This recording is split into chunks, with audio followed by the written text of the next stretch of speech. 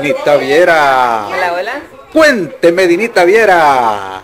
¿Qué hay? Bueno, yo no tengo mucho que contar, pero alguien Ajá. Dicen que van a contar una historia llena de gratitud hacia el profesor Flores. Ajá, y eso, y eso, cuénteme. Así dice Miki, así dice Miki. Hola, hola, don Miki, ¿cómo Hola, está? bien, ¿y usted? Hola, ¿qué tal? ¿Cómo, ¿Cómo va todo? Bien, gracias a Dios. ¿Todo bien? ¿Todo bien? ¿Todo perfecto? Sí. Ajá. ¿Cómo le fue con su tarea o su presentación? Bien, me saqué nueve. 9 de 10. Sí. o sea, 90 de 100. Ajá. Ajá, muy bien. Eh, bueno, uno porque a la maestra le gustó cómo expusimos la obra, Ajá. cómo la resumimos, cómo nos, nos metimos en el papel de, de la obra de Odiseo y de, de Penélope. Eh, entonces, por eso a la señora fue de bastante agrado. Y creo que de los tres que expusimos de la misma obra tuvimos nueve de calificación. 9 es excelente. Sí, o sea, creo es que una sí. nota, una nota muy alta. Es excelente, es a más. Muy buena nota, así que es de felicitarlo, don Miki. Muchas gracias. Y esperando que así continúe. Sí, la materia que más me está costando ahorita es informática Ajá. y mecanografía. Mecanografía me está cargando Pero la la, mecano- la mecanografía no debería costarte mucho porque tenés práctica en el teléfono, ¿no? Pero es distinto porque el teclado del teléfono es chiquito Ah, y el teclado de la máquina tenga.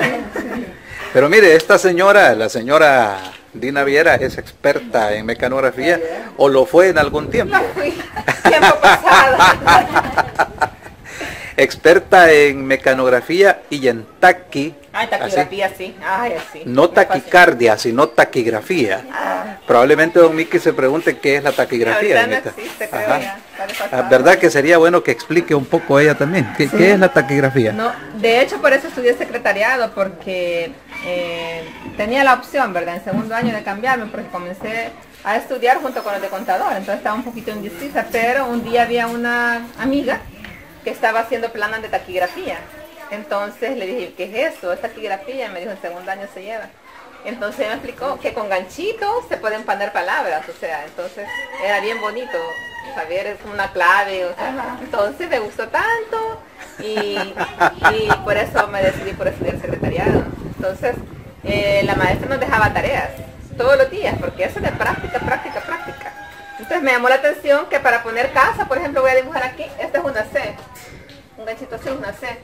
Y aquí, al hacerle acá, una pancita es la A. Acá otra rayita así, bandita así, es otra S y otra A, casa, casa.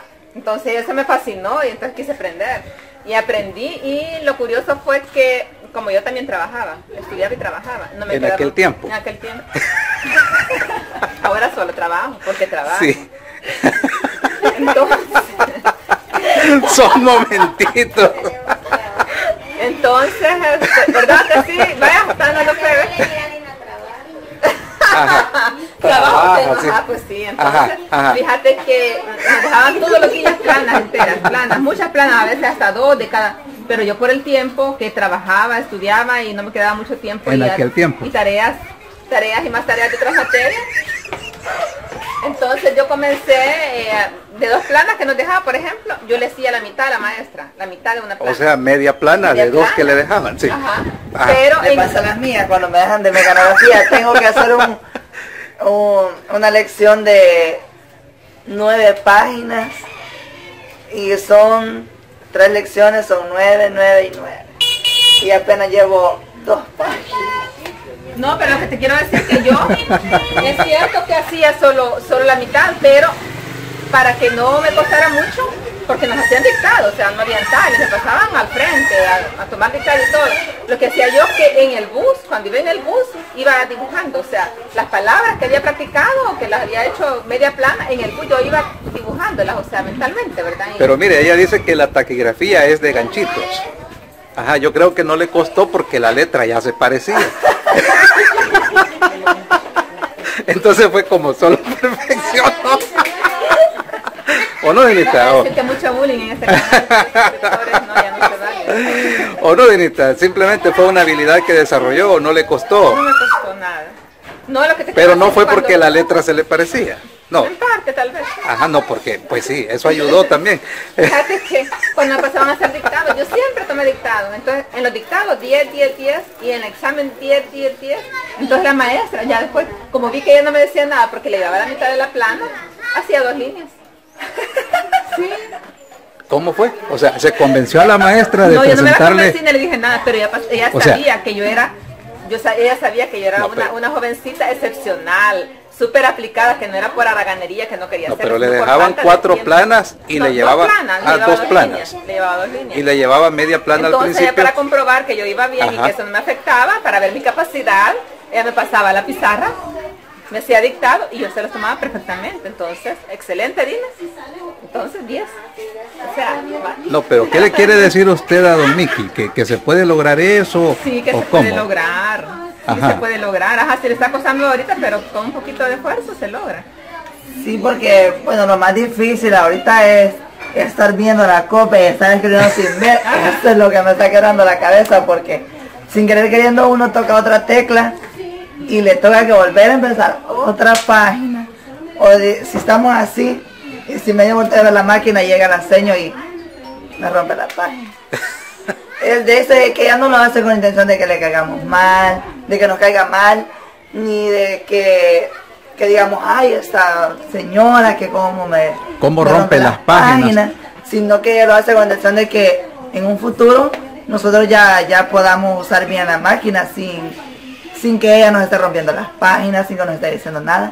Porque eso fue mi primer día de mecanografía.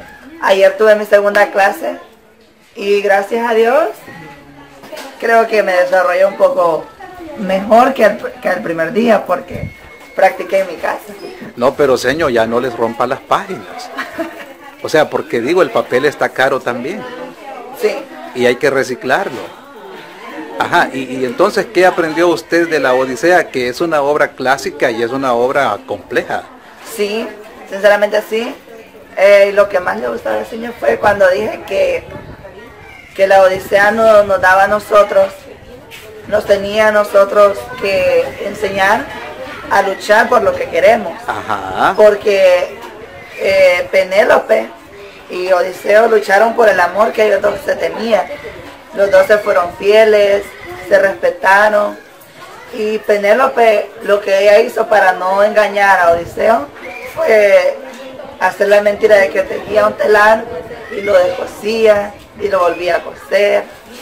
Y así entonces Sinceramente fue una obra bien bonita, por la cual me gustó bastante. Creo que no la voy a olvidar nunca. Y fue mi primera, mi primera exposición porque en noveno creo que nunca expuse. Y si expuse siempre andaba un papel en la mano. Y ahí no me dejan andar papel en la mano, tiene que ser el resumen de lo que uno leyó, llevarlo en la mente. Ajá. Entonces, eh, fue mi primera, mi primera exposición así, así de estricta. Pero eh, tengo otra exposición que es para lo de OPB, orientación para la vida. Pero creo que no me va a costar porque si ya lo hice con la obra, espero que me salga bien también con la de OPB. O sea, ya tiene una experiencia a su favor, Sí, una experiencia ganada y ya se demostró que es capaz. sí.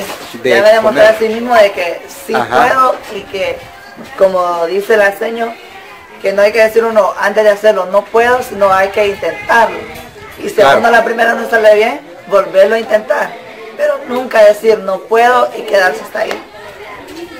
No, y me parece excelente porque en el caso de las obras literarias no solo es comprender la historia, sino el significado, qué hay detrás Sí. de la historia. En este caso, por ejemplo, Ítaca, ese lugar donde vive Odiseo, representa la búsqueda de un sueño. Y en cierto sentido todos somos como Odiseo, porque todos andamos buscando Todos tenemos un sueño, una Sí. meta o algo Ajá. que cumplir, algo que nosotros deseamos. Así que don Miki, felicidades Muchas gracias. y esperamos que así continúe con esos logros, con esas metas alcanzadas, cosechando nueves y dieces. Sí, porque en el examen de, OPB, porque ya nos hicieron el primer periodo. Ajá. Me saqué nueve. En, el- en informática sí salí mal porque es una materia que no le entiendo, pero primero Dios lo voy a entender. Ahí sí me saqué tres. Pero todavía hay chance, hay oportunidad de mejorar esa nota. Sí, todavía hay oportunidades. Nos han dejado una eh, un trabajo Sí. para que podamos recuperar, para que podamos recuperar la nota. Así es que, como le digo al profe, confiando en Dios, eh, ya el segundo examen del, del siguiente periodo ya va a estar un poco mejor. Perfecto, así que muy amable. Y Dinita Viera, gracias por los consejos aportados para Don Miki, que le está costando la informática, pero usted le ha dado esperanzas. Sí, con un poquito de esfuerzo lo va a lograr. Y se ve que él tiene el interés ahorita, entonces eso es lo importante. Sí, y gracias a Dios que eh, tengo el apoyo de mis papás, de mis hermanos, y yo tengo en sí el querer, el querer aprender y el querer lograr la, eh, la meta y el sueño que tengo. Y espero en Dios que ¿Cuál ojalá es que el se me sueño? ¿Lo quiere compartir? eh, estudiar la universidad Ajá. y sacar un profesorado. Entonces esa es su Ítaca. Así Sí. como Odiseo buscaba su hogar, usted anda buscando también su anhelo, su propósito. Sí. Estudiar en la universidad. Bueno, muchas gracias. Muy amable. hasta Y hasta la próxima. Hasta pronto.